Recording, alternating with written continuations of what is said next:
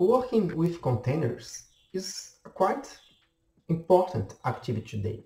And it's so because the applications becomes each time more complex. It becomes separated with one part for front end, another part for back end, another part for database, and sometimes we need more instance of each of its parts.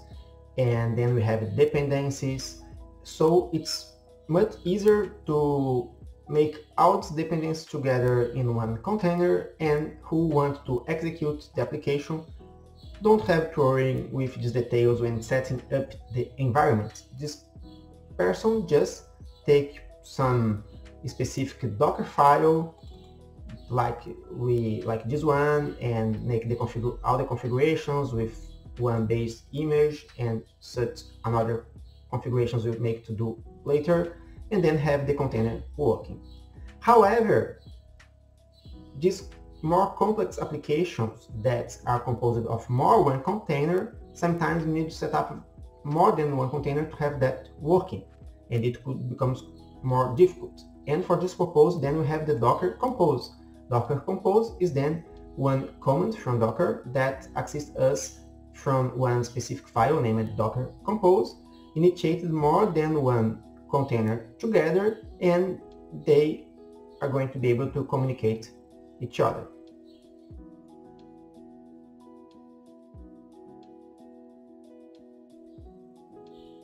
First, let's understand our project. Here we have one project composed by one front end, that's a simple HTML project, just with one HTML file that performs one request for its dependence for one backend. And this backend is available here in another folder, that's a node project that's composed just by its file, server.js, and then it has an endpoint named colors and this endpoint just deliver a list of colors. Okay, so the front end is going to connect here and receive this, this list that's going to be delivered from this port because the server is going to be executed from that. Okay, we could just do a first very initial test running that without containers here executing the front end, I have here a plugin, that's the live server, that's going to start a server from here from Visual Studio. And like you can see here, if I press F12 and press F5, here is trying to connect in the backend, it fails, of course. And then if I run locally as well, the backend, I can open here from terminal, I'm already inside the backend folder. So I just have to type here node to start the server.js uh, file. It's starting, so now it's listening in this port. And now if we do another request, we have then the, the request successfully performed. So this address here now is answering properly because now we have first end and backend initiated. However, we are not using containers.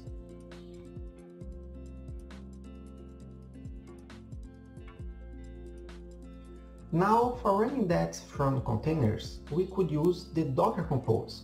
Docker Compose is quite useful because it's going to initiate two containers together and make them communicate each other. Here, in this Docker Compose, take a look in its structure. Our containers are defined inside this service uh, item. And then we have a backend container, and then we have a front-end container, and here is how each of them are going to be created. So both are going to be created from specific Docker file. So we have a Docker file for backend that is here, and we have a Docker file for frontend that is here. And then each of these containers is going to communicate each other using the specific ports we defined here. So let's take a look in the Docker container each other. For running our backend, we are going to use this Docker file which initiates from one node image that's publicly available from Docker Hub, copy the source code we have to this specific folder, move the pointer to that, and then execute the node command to this specific file as we have done when we run that locally. And the same for the front end. The front end, we just run that from the nginx image, also public available from Docker Hub, and then we copy the source code to the specific HTML folder, and then we go inside that and run the nginx command. And then we have the front end and back end now executed and ready to be uh, consumed. Okay? But instead of doing that separately one one one set of commands per container per docker file we are going to do everything together with this docker compose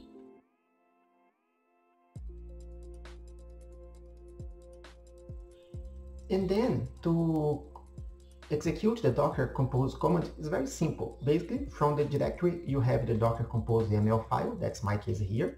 You can ensure that just listing the files you have in the directory. Here I have docker compose YAML, okay?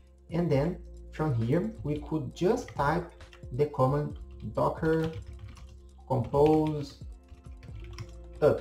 When doing that, it's going to initiate each of the containers one container named then backend and front end. And here you see it already done. Both containers were initiated, one for the front end and another for the backend.